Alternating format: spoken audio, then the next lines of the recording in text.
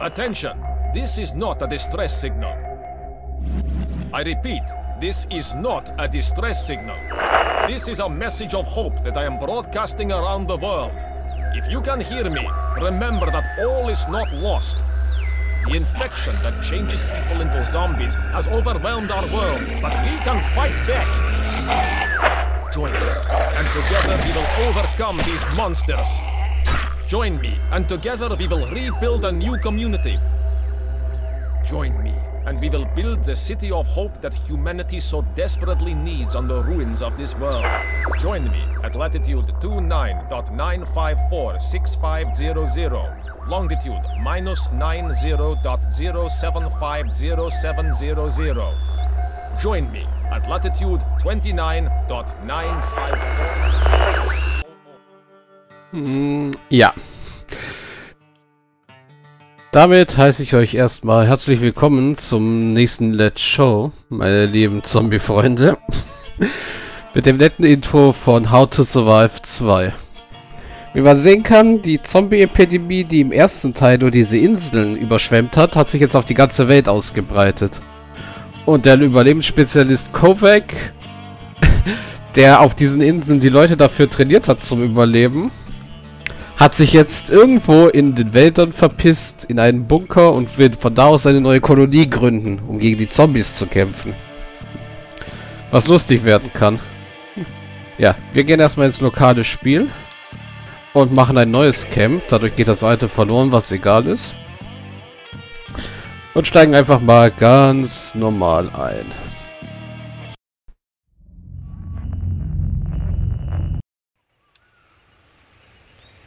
So, Profil 1 werfen wir weg.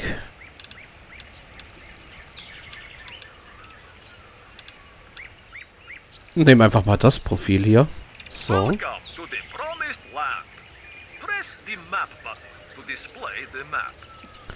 Und dann kriegen wir ein kleines Tutorial hier.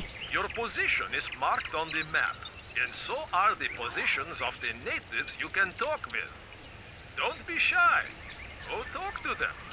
They probably won't bite you. Take advantage of that. Ja. Also, wir haben einen Baseballschläger und irgendwie können wir, soweit ich weiß... Das ist die Komboliste. Steuerung bringt auch nichts. Obwohl, können wir mal kurz in die Steuerung, in die Tastaturkonfiguration reingucken. Sprinten, Klettern ist Leertaste. Dö, dö, dö.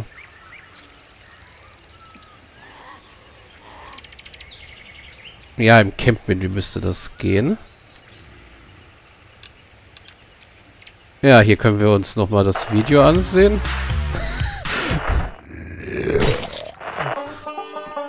Ja, Kovacs Humor halt.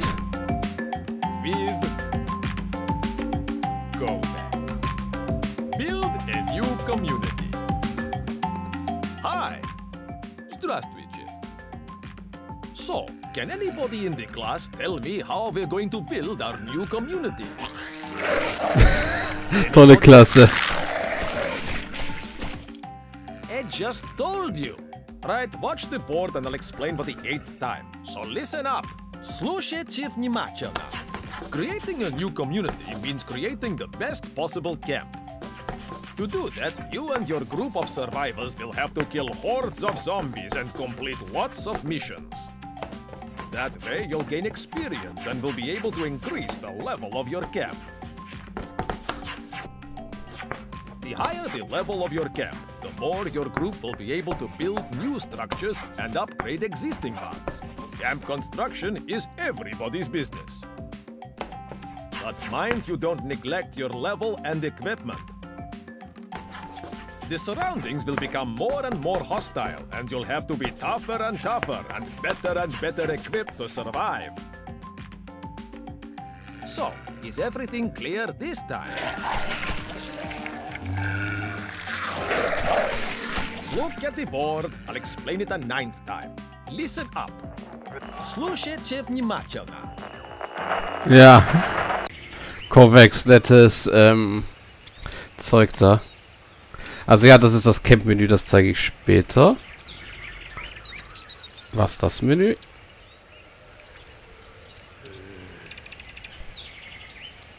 Achso, das ist das hier. Hm, hm, hm. Aber irgendwie kommt man doch noch in ein anderes Menü rein, wo ich jetzt zuerst reinkommen wollte.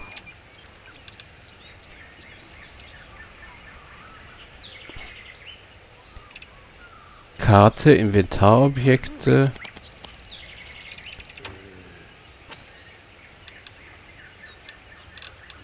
Allgemeine Info, Handwerk, Inventar. Das war das Video, was ich gerade gezeigt hatte. Und das ist Handwerk und Inventar. Okay. Dann finde ich halt gerade das Menü nicht, in das ich rein möchte.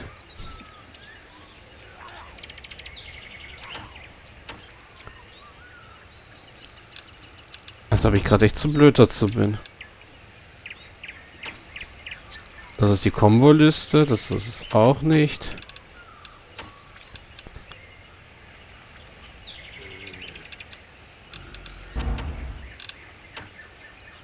Ne.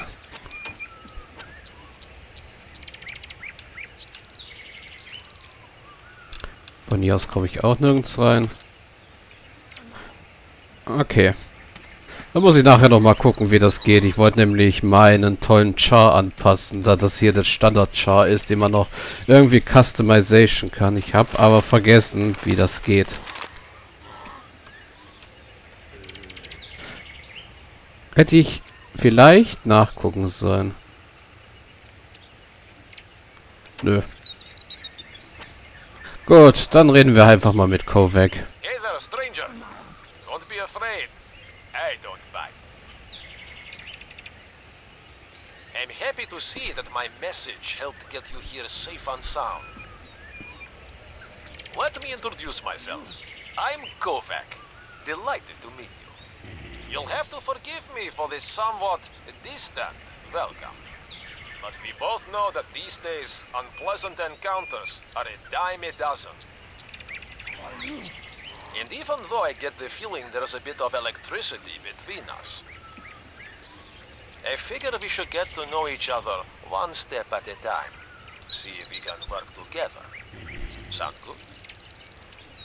Great. So, let's get this thing underway. Jetzt müssen wir erstmal Kovacs Eignungstest machen. Dafür gibt es eine Erfahrungsbelohnung. Von 1500 Erfahrungspunkten. Also schließen wir den Eignungstest ab.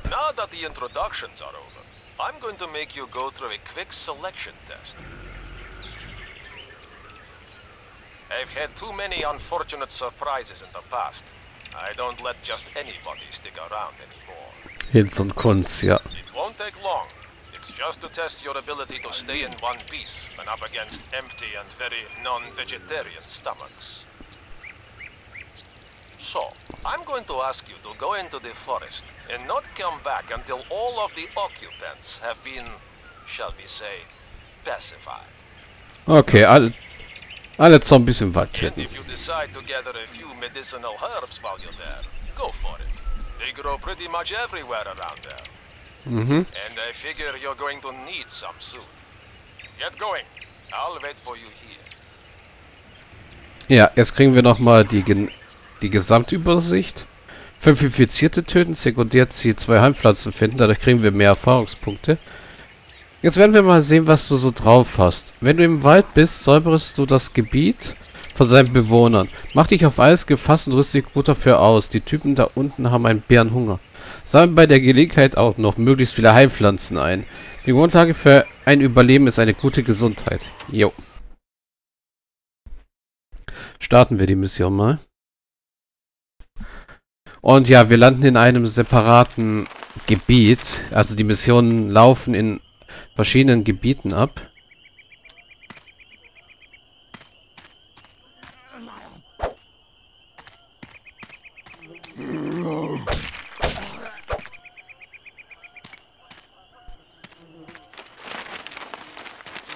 Das ist halt so das kleine Manko an dem Spiel, dass es keine offene Welt ist, sondern man für jede Mission in ein anderes Gebiet geschickt wird.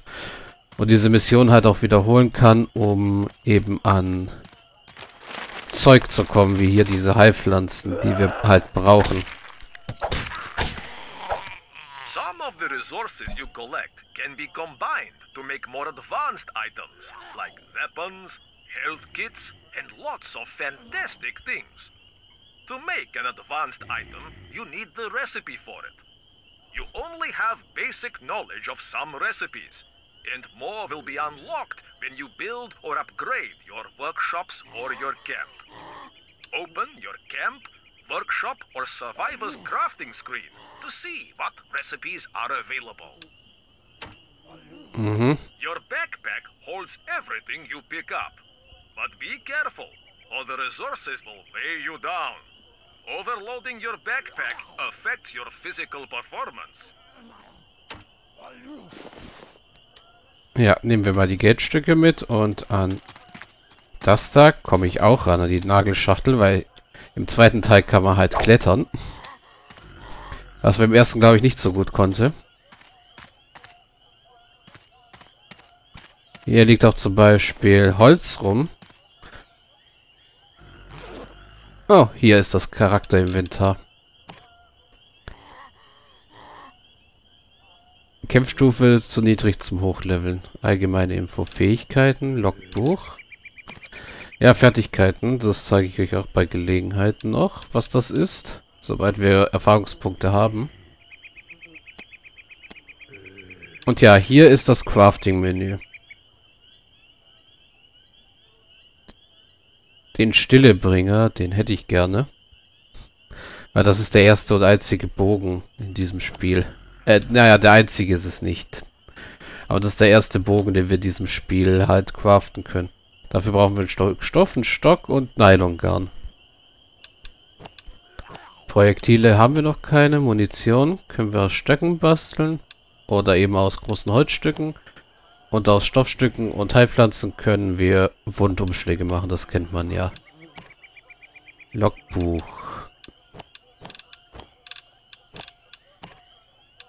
Ah, hier ist das Anpassungsmenü, genau.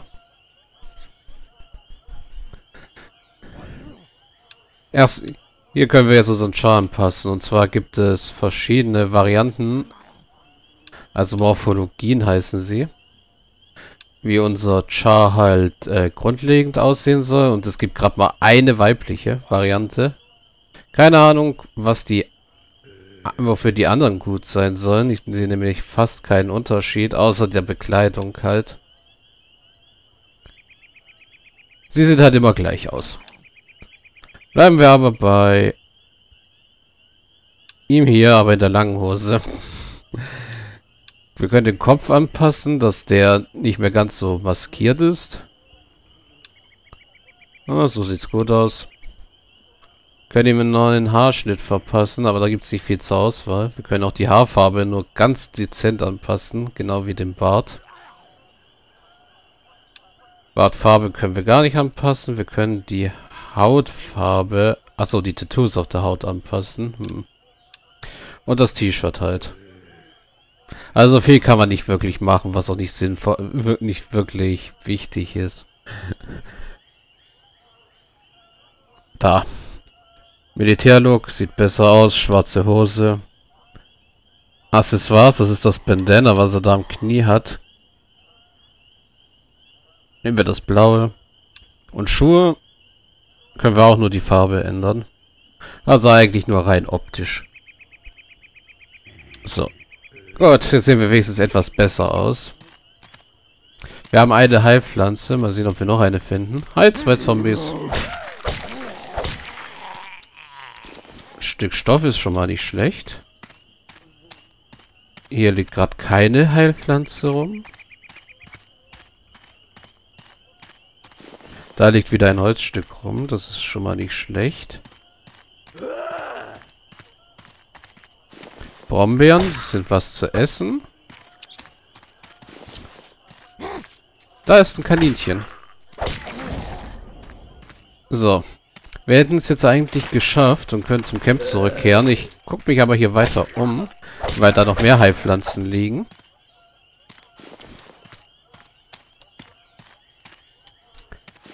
Und Stöcke, die wir auch brauchen. Es fehlt uns nur noch das Garn. Dass wir den Bogen bauen können.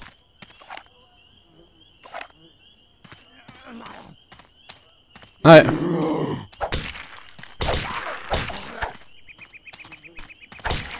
So, weg mit dem Bein. Ja, und da haben wir schon das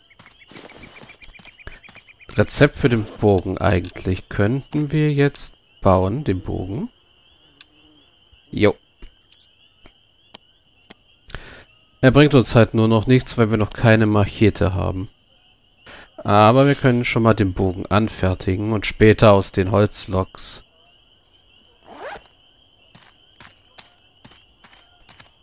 dann die Pfeile craften. Ich hätte schwören können, dass man eine höhere Stufe braucht für den Bogen, aber ich habe mich da wohl getäuscht. So, jetzt sind wir eigentlich fertig hier. Und können zum Camp zurückkehren. Wir kriegen die Erfahrungspunkte, wir haben die Sekundärziele, Quest bestätigen. Und haben damit unsere erste Mission erfüllt. Es ist eigentlich ganz cool gemacht mit den Missionen, dass man weiß, wo man hin muss, um bestimmte Sachen zu sammeln.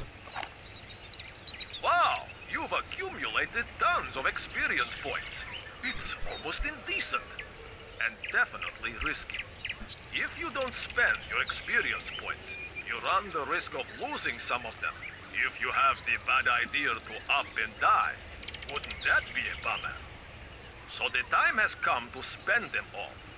Use them to raise the level of your survivor or camp, or to purchase upgrades. So don't be a cheapskate. You can't take them with you when you go. Ja, Erfahrungspunkte haben wir jetzt.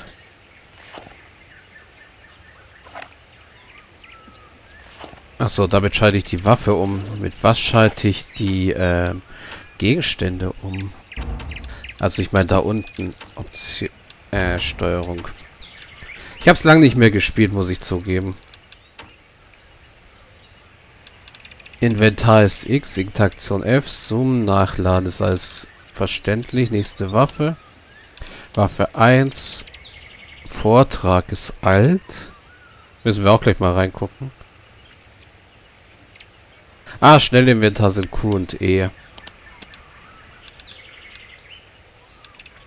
Mhm. Das heißt, wir können damit jederzeit auch die Brombeeren und die Heilpflanze wechseln und sie mit Steuerung benutzen. Ah, das ist das äh, Menü, wenn man mit anderen reden will. Das glaube ich keinen direkten Chat gibt. Allgemein aktuelles Gebiet.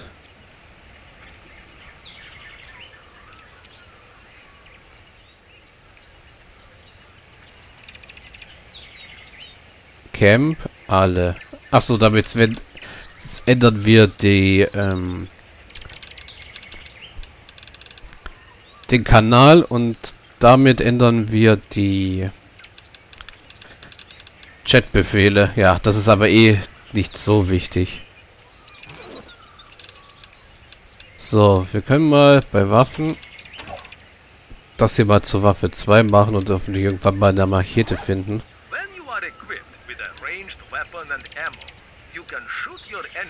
Ja. Das ist der C-Modus, den man auch aus dem ersten Teil kennt. Good. Not bad for a rookie. The style was a bit unpolished, but I can see you've got potential. Mhm. Anyway, I think you just convinced me to welcome you to New Kovac City. Ja, gar nicht überheblich, Kovac. Sure of the name yet. What do you think? I'm sort of hesitating between Kovac-Grad or maybe Kovactor.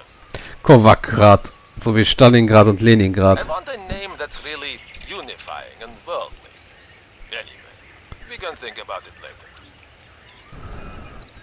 Also, St äh, New Kovac City, New York City halt. Hm. Ach ja. Erfahrungspunkte. Wir könnten die Charakterstufe verbessern, dafür ist aber die Campstufe zu niedrig. Wir können Fähigkeiten jetzt verbessern, das kostet die meisten Erfahrungspunkte.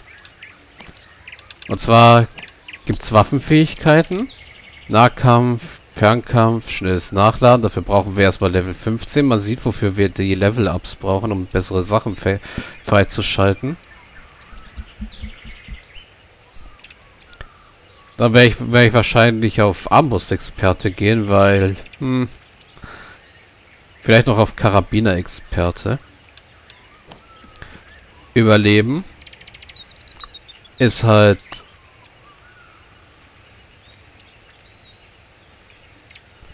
Hunger, Durst. Und Heileffekt. Und hier die Traglast. Dann gibt es halt Ausdauer. Du sprintest schneller, verringert den Energiebetter, äh, Energieverbrauch, erhöht das Erholungstempo der Ausdauer und verringert die Auswirkungen körperlicher Erschöpfung. Besondere Fähigkeiten ist Schlösserknacken wichtig.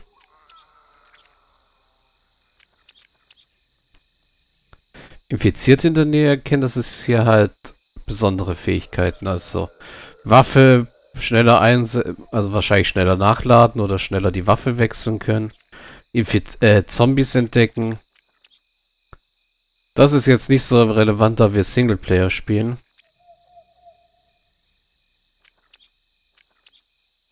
Besser wiederbeleben ist auch nicht so wichtig. Gibt dir die Möglichkeit, mit einer deiner Faustfeuerwaffen zu benutzen, wenn du am Boden liegst. Hm.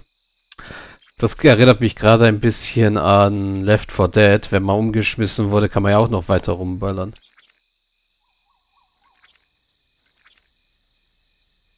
Erhöht die maximale Dauer des letzten Gefechts. Ach, wahrscheinlich, wenn wir am Boden liegen. Verringert den Umfang des erlittenen Schadens, wenn du einen Mitstreiter wiederbelebst. Also wäre wahrscheinlich, dass uns Zombies nicht so schnell treffen. Ach so, das sind eben Gefahrfähigkeiten halt. Wenn meine Gesundheitswerte gering sind, krieg ich halt, kann ich mehr Kraft kriegen, kann ich besser schießen. Jetzt oder nee, Erfahrungspunkte Bonus.